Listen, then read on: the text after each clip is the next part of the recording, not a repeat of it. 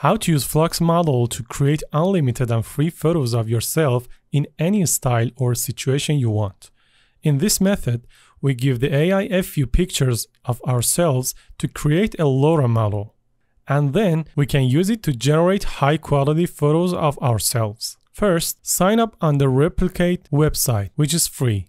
Or if you have one already, just sign in to your account. Then click on the Explore option and search for the Ostris Select ostris slash FluxDev LoRa Trainer. This is where we will create our personalized LoRa. Under the destination section, proceed and choose create a new model. Then give it a name. I'm going to use a friend's photo for this. Someone who isn't recognized by AI but is a blogger named Negin. So I'll name the LoRa Negin dash LoRa. In the next section, it asks me to upload a few photos for the model so that it can analyze the face and details and create the model for us. It's that simple. Interesting, right? I have some photos of Negin ready to upload to the site, but all the photos need to be zipped into one file. The number of photos you choose should be between 10 and 20. From my experience, using more than 15 photos might not result a good LoRa model and the output may not turn out well. If you pay attention to the instructions, it says that each photo file should be named something like my-photo.jpg. Here, I'm selecting 15 photos and naming each one negin-photo. You can also add a caption for each photo. To make sure the AI understand which caption belongs to which photo, you need to create a text file with the same name as the photo and include it in the final zip file. For example, I name a picture negin-photo1.jpg and then for the caption I need a file like this negin-photo1.txt.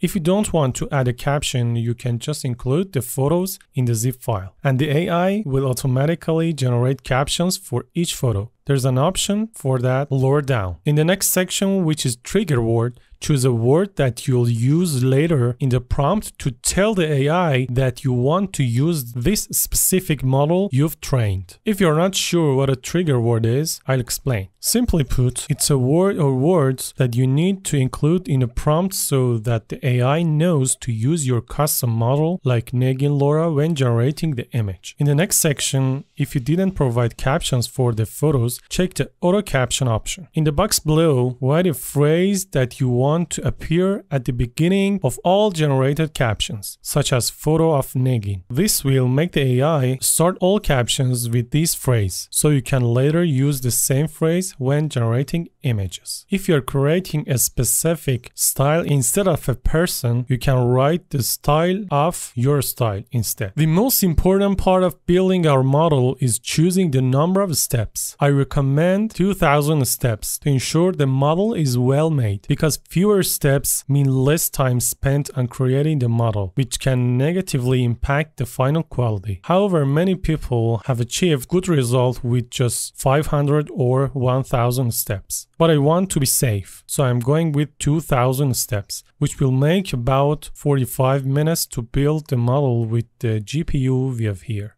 In this step, to store our model online, go to the Hugging Face website and create a free account. If you already have an account, just log in. Click on your profile picture and select Create New Model. Choose a name for your model. I'll name it Negin-LoRa. Set the privacy to public unless you want to use this LoRa only on your personal computer. The public option means everyone will have access to this LoRa. I'm setting it to public because I want to generate images on the replicate website and this site needs to access the LoRa. Now click on the create button and a storage location for our model will be created. Next click the copy icon at the top to copy the name of this LoRa along with your username. Go back to the replicate website and paste this information into the repo ID field. Now we need a token and creating one is very simple. Go back to the Hugging Face website, click on your profile, open the setting section and then click access tokens here. Now click create new token. Check the necessary options and put any name you like for your token name.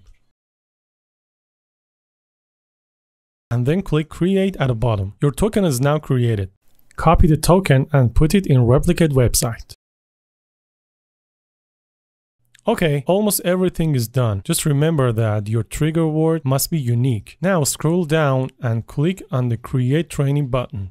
Before you click, you should know that creating this model costs about $2.5, so make sure to add 3 to $5 to your replicate account to avoid any errors. Then wait for the model to be created. It takes about 45 minutes, so go grab a coffee and come back while keeping this page open.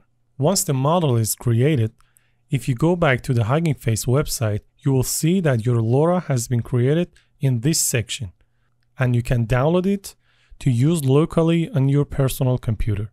Now let's test the LoRA we created. To do this, go to this link, which allows us to generate images using the FluxDev model and a LoRA.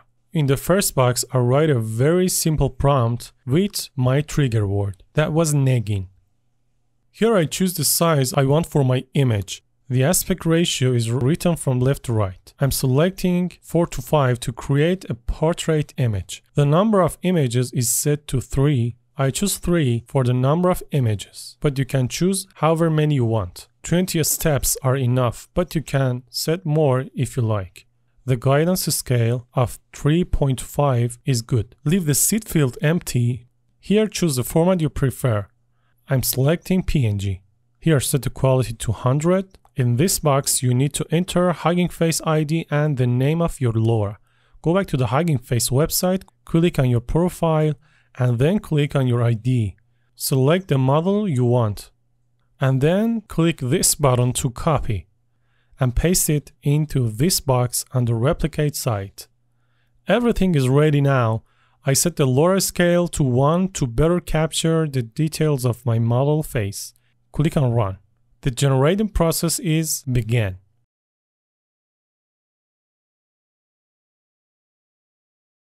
Now we have done, you can see that the images are generated and look beautiful, closely resembling our subject. You can create images of yourself or your loved ones in different situations using this method and enjoy the amazing quality of the Flux model. You can even create your own personal influencer by using AI generated images of a fictional person to build a LoRA model and use them as your personal influencer. Okay, we are done. By the way, don't forget to subscribe my channel for more tutorials and hit the bell icon so you will be notified of my next video. Thanks for watching and I'll see you again soon.